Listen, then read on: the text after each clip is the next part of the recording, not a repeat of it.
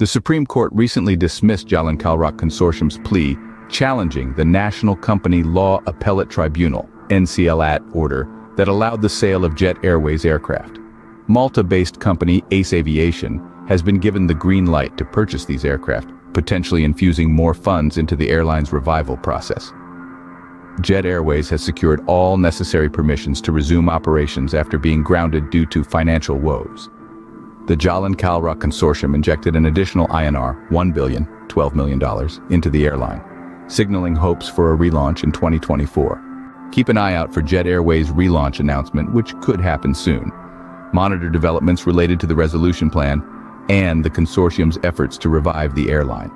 Moving averages, currently neutral, indicating stability. Oscillators, oscillating between sell and buy signals. Price to earnings, PE. Ratio, negative, reflecting financial challenges.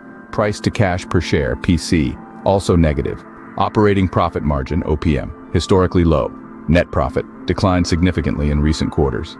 Equity. Latest equity stands at 113.6. Net profit, a substantial decline in net profit. Cash per share, CPS, negative cash per share. Price to book value, very low. Return on net worth, currently zero. Market cap, approximately 573 lakhs. Total assets, decreasing over the past three years.